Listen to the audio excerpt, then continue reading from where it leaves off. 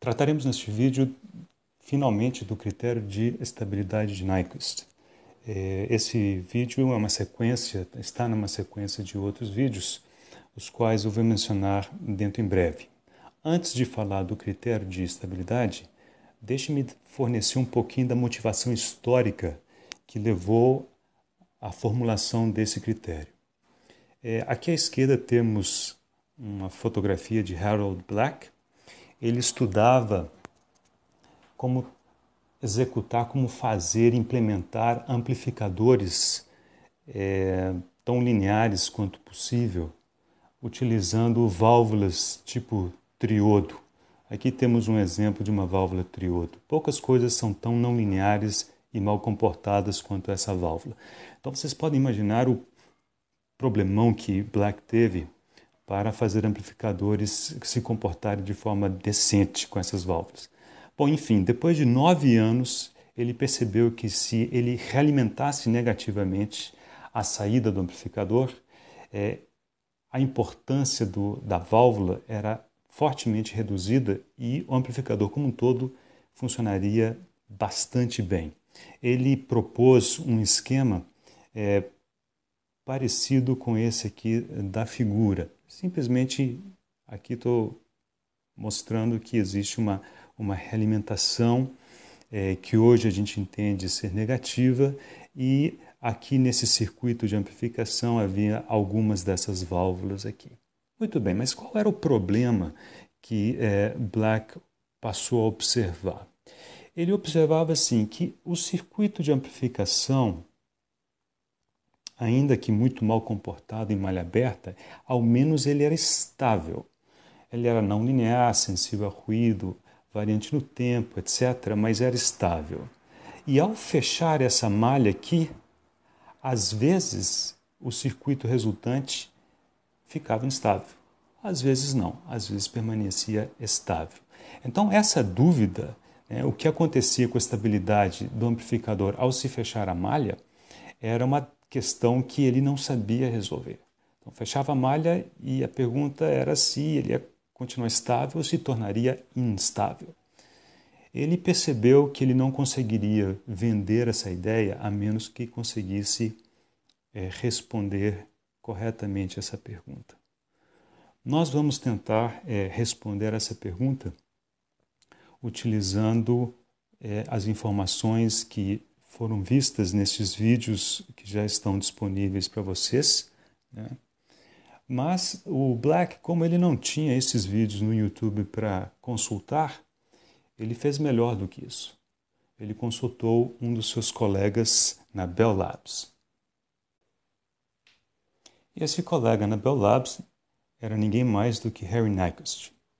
Muito bem, então nós vamos voltar aos assuntos dos vídeos anteriores Vamos voltar a pensar em termos é, de um plano domínio e um plano imagem conectados por uma função de mapeamento FDS e veremos que tipo de adaptações o Nike fez a esse problema baseado no princípio do argumento de Cauchy para resolver o problema de encontrar a estabilidade de um sistema em malha fechada, cuja função transferência, por exemplo, está indicada aqui. Sabemos que a estabilidade dessa função de transferência depende da localização dos zeros deste polinômio denominador, que são os polos da malha fechada. É, em poucas palavras, nenhum desses polos pode se encontrar no semiplano direito deste plano domínio. Portanto, é uma boa ideia escolhermos o traçado gama para ser esse semiplano todo, que eu vou indicar assim. O pontilhado significa que estamos passando pelo infinito e voltamos e fechamos aqui ao longo desse eixo. Então, o percorrido de gama ele é feito desta maneira. Então, indicamos gama aqui. Sabemos que mapeado por uma função, e a função de interesse agora é essa que acabei de indicar aqui, que é a equação característica de malha fechada, H de S. E então esse percorrido tem um mapeamento correspondente aqui no plano imagem, que chamamos de gama i, e queremos saber se ele dá voltas ou não na origem desse plano. O número de voltas que é dado aqui, já vimos que depende da diferença entre o número de polos e o número de zeros que desta função que existe dentro deste percurso. Isso é assunto é, de um daqueles vídeos que é, mencionamos há pouco. Okay? Muito bem, então, ao tratar, ao escolher gama para ser esse semiplano direito e ao escolher a equação característica para ser, em princípio, a função de mapeamento, daqui a pouquinho nós vamos mudar isso, é, o Harry Nyquist conseguiu uma maneira de avaliar a existência, ou melhor, a diferença entre é, polos e zeros dessa função, simplesmente observando o que ocorre neste plano imagem, se gama i envolve ou não a origem.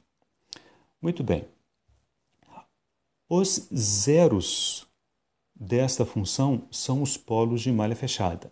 É isso que efetivamente nos interessa. Contudo, já vimos que o argumento de, o princípio do argumento de Cauchy não nos dá apenas z. O número de voltas aqui não é apenas z, mas é a diferença de zeros e de polos. Então, os polos, eles precisam ser conhecidos a priori. E isso nós vamos ver um pouquinho daqui a pouquinho, mas antes precisamos entender o que, que são esses polos. São, veja bem, são os polos da função de mapeamento. Então, para a gente entender melhor o que, que são os polos dessa função, vamos fazer o seguinte. Eu vou reescrever essa função aqui. Ó. Então, vamos, vamos reescrever esta função, que é a função de mapeamento, e nós vamos reescrevê-la da seguinte maneira. É, a função g de s é uma razão de polinômios. Então, eu vou chamar assim, ó, polinômio do numerador de g, que é um polinômio S, o denominador de g, que é um polinômio de S. Então, isso daqui, essa parcela toda, é g de S. E farei igual com o h, numerador de h, denominador de h. Okay? Vamos tirar o mínimo múltiplo comum, que é dg de S, dH de S, ele aparece aqui em cima então, dg de S, dH de S, mais ng de S, nh de S. Então, essa expressão a que acabamos de chegar é simplesmente uma outra maneira de reescrevermos a função de mapeamento. O que são os polos desta função? São os valores de S tais que este denominador se anule. Ora, este denominador é o produto dos denominadores da malha aberta. Portanto, P, os polos desta função de mapeamento, são efetivamente os polos de malha aberta. E como no caso do problema do Black, o amplificador era estável em malha aberta, o problema que o Nyquist resolveu foi para P igual a zero. E neste caso, quando P igual a zero, o número de voltas aqui na origem coincide com o número de zeros. E para que seja estável, sabemos que nós não podemos ter nenhum zero desta função dentro do gama. Por quê?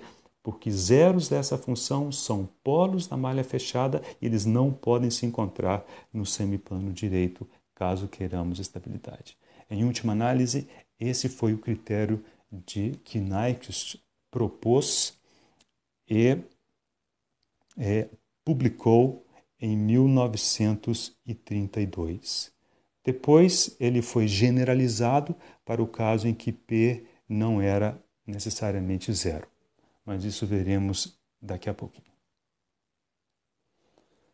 Muito bem, então vamos concluir fazendo alguns é, ajustes, que aliás não foi Nike que fez, foram feitos posteriores. O primeiro deles é em vez de trabalhar com 1 mais GH, por que não tirarmos o 1 e trabalharmos só com G de S e H de S? Se removermos um aqui, nós vamos remover um desta origem. Então, em vez de mapear os envolvimentos aqui da origem, nós vamos observar o que acontece em torno do menos um. Essa foi uma mudança é, feita há pouco tempo, melhor, pouco tempo, pouco tempo depois é, do método ser proposto pelo Nike. E o segundo é, aspecto importante observar é o que diz respeito ao traçado gama. Observe que o traçado gama ele é simétrico. Então, podemos pensar apenas é, em uma metade, a outra metade sabemos que será é, correspondente a ela.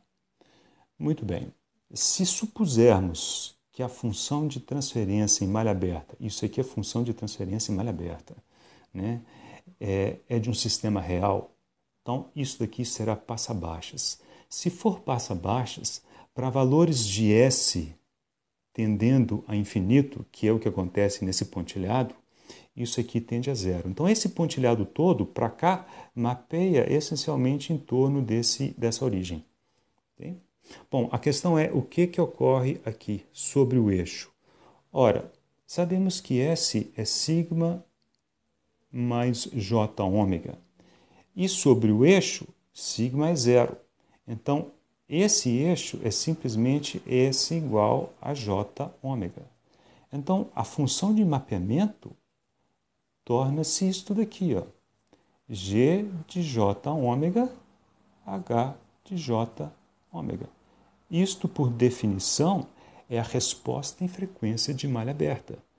Ou seja, Tome-se a resposta em frequência de malha aberta, que é uma curva em frequência, faça o gráfico polar, por exemplo, alguma coisa assim. Isso, esse traçado todo corresponde a mapeamento desse eixo todo, começando aqui em ômega igual a zero, indo até ômega tendendo a infinito todo esse pontilhado aqui, etc, etc, etc, acontece aqui porque o sistema é passa baixas e depois o restante desse eixo corresponde a o outro lado, né? o simétrico desse, desse traçado. Esse traçado é o que nós chamamos de gama I, e o que precisamos observar é quantas voltas esse sistema dá ao ponto menos 1. Como nesse caso não envolve o ponto menos 1 é, nenhuma vez, o sistema, ao ser fechado a malha, permanecerá estável. Então, para encerrar, o que a gente procura verificar é essa expressão, em que n é o número de voltas ao menos 1, isso está indicado aqui. Né? É, isso então é um valor lido do gráfico polar. Okay? Z é o número de polos de malha fechada envoltos por gama. Isso daqui, então, precisa ser zero para haver estabilidade. Este é o resultado que a gente procura. A gente procura calcular o z. Então, se temos apenas uma expressão e queremos encontrar z, essas outras duas grandezas elas precisam ser conhecidas. n será obtido observando o gráfico e P precisa ser conhecido a priori. Então, precisa ser conhecido a priori.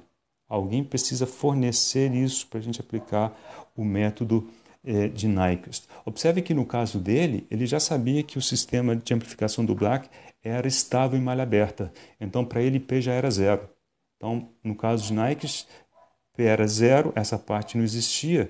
Então, para que Z fosse zero, N precisava ser zero, ou seja, isso aqui jamais poderia envolver o ponto menos 1. Muito bem, então, em essência, esse é o critério de estabilidade de Nyquist e ainda teremos alguns outros vídeos adaptando esse método para o caso em tempo discreto e também exemplificando com alguns casos simples.